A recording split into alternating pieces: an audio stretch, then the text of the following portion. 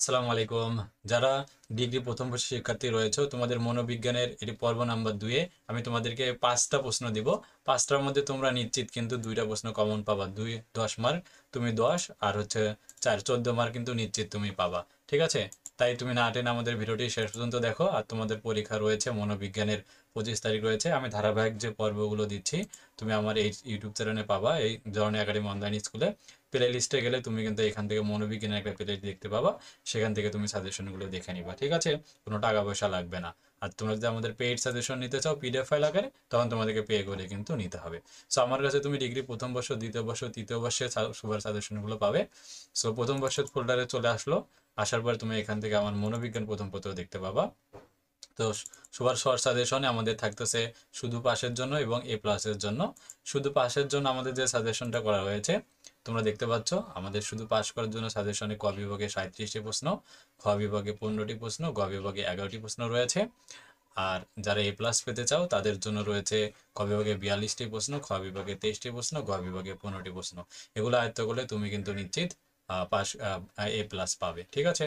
আর আমাদের super suggestion নিতে চাইলে আমাদের অফিসিয়াল যে হোয়াটসঅ্যাপ নাম্বার রয়েছে, এই নাম্বারে মেসেজ দাও, ঠিক আছে? চলো আমরা শুরু করে দিচ্ছি পর্ব নাম্বার টু সো প্রথম যে প্রশ্নটি আমি রেখেছি তুমি বিগত সালের উত্তরে আমাদের চলে আসবা। আমাদের যে সাজেশন রয়েছে, এখান থেকে বিগত সালের সালের সাজেশন উত্তরে আমাদের প্রথম যে প্রশ্নটি দিব দু হাজার বিশ সালের এগারো নম্বর প্রশ্ন।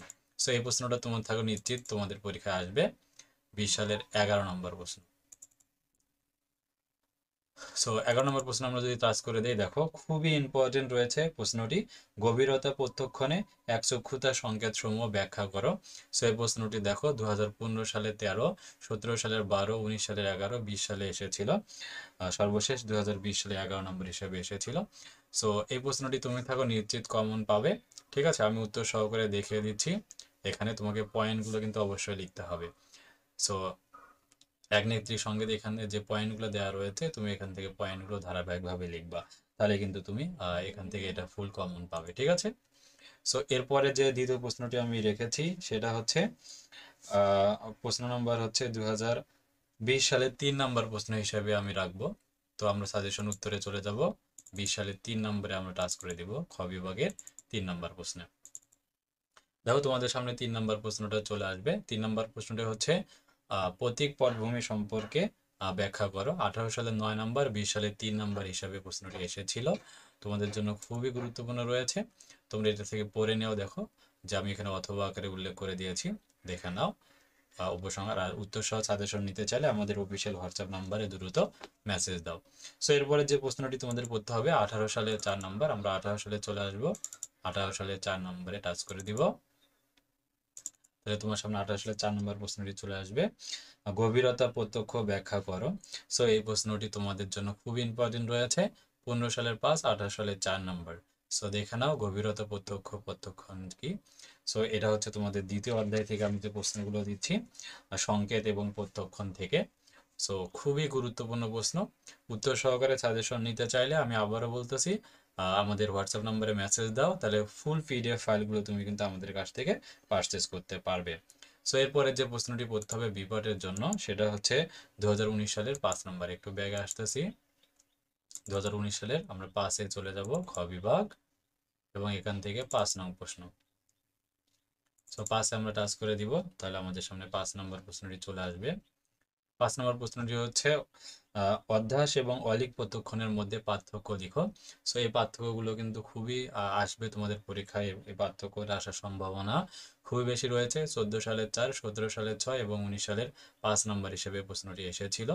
সো তাই তোমরা এই প্রশ্নটি ভালোভাবে আয়ত্ত করবে।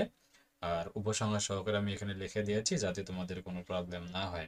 সো এরপরে যে প্রশ্নটি পড়তে হবে সেটা হচ্ছে, সতেরো সালের চার নম্বর প্রশ্নটি পড়তে হবে। আমরা চলে যাচ্ছি সতেরো সালের চার নম্বর প্রশ্নটি। এখান থেকে চারে টাচ করে দিব, চার নম্বর প্রশ্ন।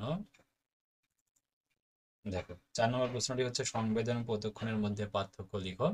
খুবই গুরুত্বপূর্ণ রয়েছে সতেরো সালের চার নম্বর প্রশ্নটি। আর দুইটা পার্থক্যর মধ্যে কিন্তু একটু ডিফারেন্স আছে হ্যাঁ? এরপর হচ্ছে সর্বশেষ উনিশ সালের তিন নম্বর প্রশ্নটি পড়তে হবে। সো আমরা একটু উনিশের ব্যাগে আসি। সর্বশেষ উনিশ সালের তিন। দেখে নাও। আমরা এখান থেকে তিনে টাচ করে দিব। যে উনিশ সালে তিন নম্বর প্রশ্নটি রয়েছে, দেখো, প্রত্যক্ষ নির্বাচনমুখিতা কি? বর্ণনা করো, উনিশ সালে তিন নম্বর, এই প্রশ্নটা তোমাদের বিপাটের জন্য করতে হবে।